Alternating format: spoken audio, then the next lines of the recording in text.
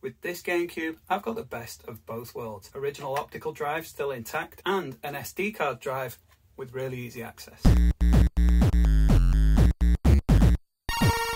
Hi and welcome back to the shed. I'm Joe Bleeps. I'm following on from my recent Pico boot video where I showed you how you can use a Raspberry Pi Pico to create your own mod chip and run your games from SD card on the Nintendo GameCube. I've got a new mod today to show you how you can get super easy access to your SD card without even having to open up the console. Let's take a look. Okay, so first I'll explain the SD2 SP2. Now this fits in the bottom of the GameCube. If you've got a Game Boy adapter like I've got here, you'll need to undo these two screws first and then it'll simply eject from the bottom of the console. Serial port 2 is on this front corner here. You remove the cover and inside I've got my original SD2 SP2. It's a flat PCB with four contacts on either side and an SD card adapter where you can install your games and then run them direct from the console. This new version in this bag here is the SD2 SP2 Pro. Now, the first thing you'll notice about the SD2 SP2 Pro is that it's not maybe quite as pro as it claims when you look at the print of the name on it. So the SD2 SP2 Pro or the SD2 SP2 Pro. So this part here is very much like the original SD2 SP2, but instead of having the SD card slot on there, it's got these little pin headers. There is a socket on the bottom of the secondary PCB where the two kind of slot together like Lego and you've now got the SD card adapter on the secondary part. Also, it's an upgraded slot. This one, you just plug the card in or pull the card out. The new one has one of these sort of spring eject mechanisms where you push in to engage and push again to release, which is a nice touch. You'll also notice the shape of this secondary PCB is the same shape as the serial port 2 cover. So you'll see that this one slots into serial port 2 and the secondary PCB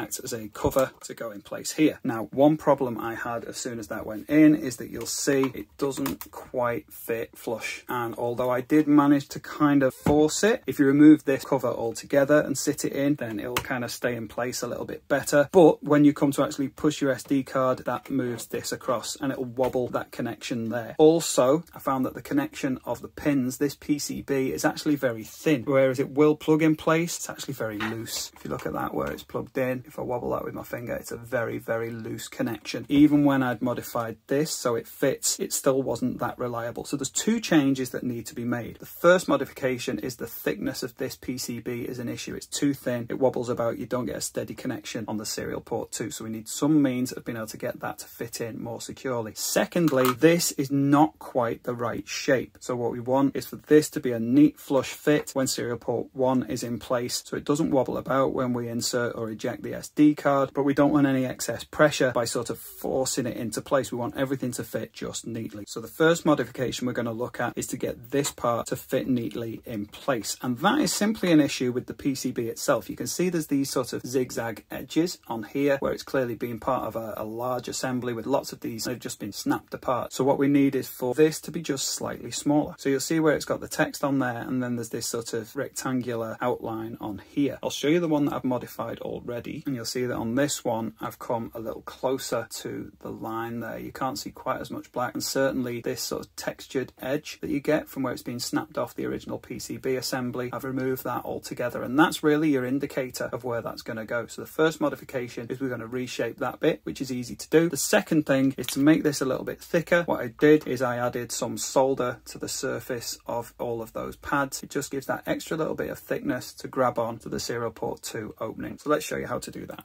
So first thing we want to do is make this smaller for a better fit. We want to get closer to that white line here without quite touching it. So my modified version, you can see there, I've got it much closer to the line, but you can still clearly see a black and white line there. The indicator is this smooth surface I've got here. So basically you want to trim this down so that there's no evidence of these two little zigzag edges left behind. Once you've got rid of those entirely, you're probably at about the right point for this to fit neatly. And to do that, it's dead easy. You just need some sandpaper or glass paper. I use leftover skateboard grip tape for it. So I've just got a strip here and you can see where I was doing it on the last one there. Just put that down on a flat surface. You don't want to sand it like this because you'll end up just sort of slightly rounding over the edges. You want to keep it nice and flat. So you simply put that down on a flat surface, hold that as upright as you can and just start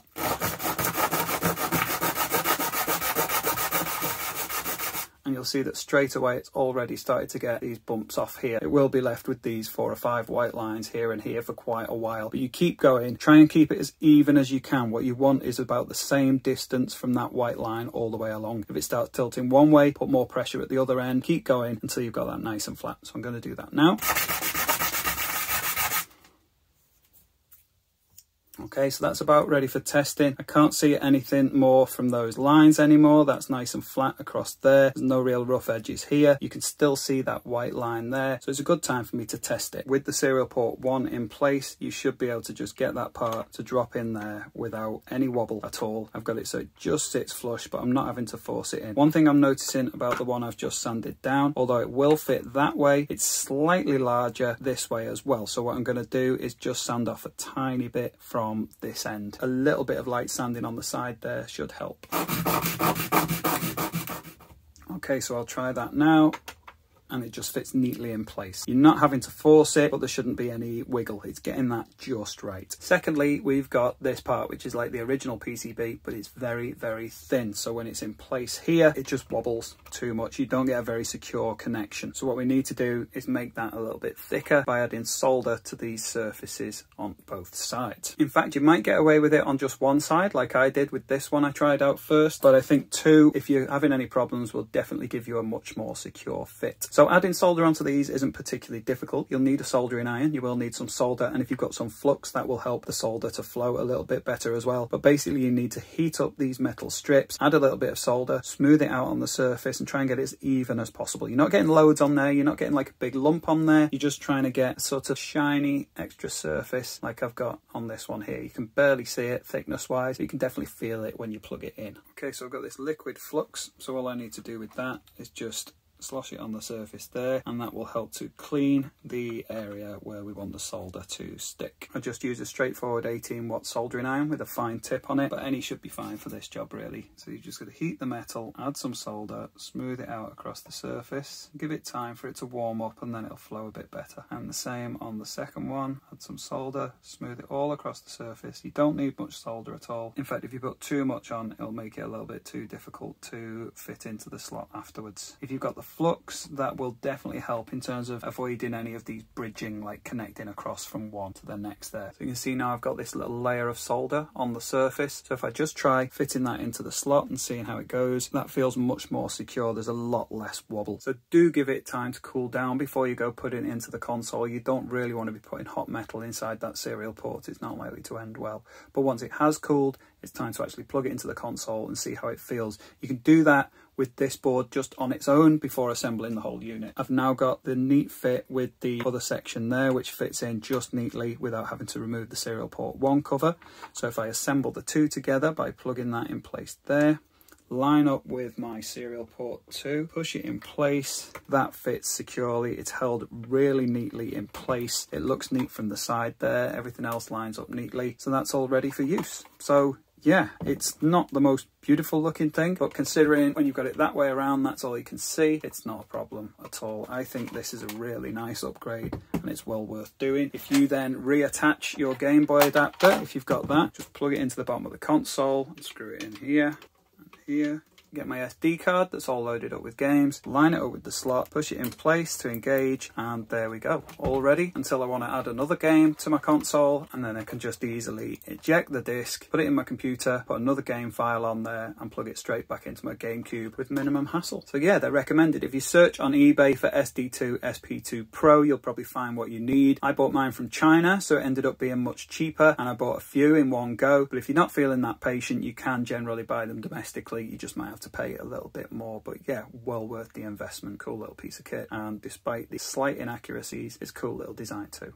Okay, so seeing as this was my second attempt at doing this, I tried it with solder on both sides to see how that goes. It didn't actually work. It ended up the fit was a little bit too stiff. So what I would recommend is just putting extra solder on the one side and trying that first without it here. If that works, leave well alone. So you may need to try out a few different configurations to see what works best for you. But what I've certainly found works best for me after trying a few different options is to leave this face outside as it was originally, this face inside, add a thin layer of solder to each of those. I would take this first PCB and plug it into the console first, then attach this one in place onto its pins so it just fits flat, but you make sure that the LEDs have gone all the way in and that should work okay. If you end up with too much solder you can either use desoldering wire or you can just heat up the solder and use a solder sucker to suck up the excess.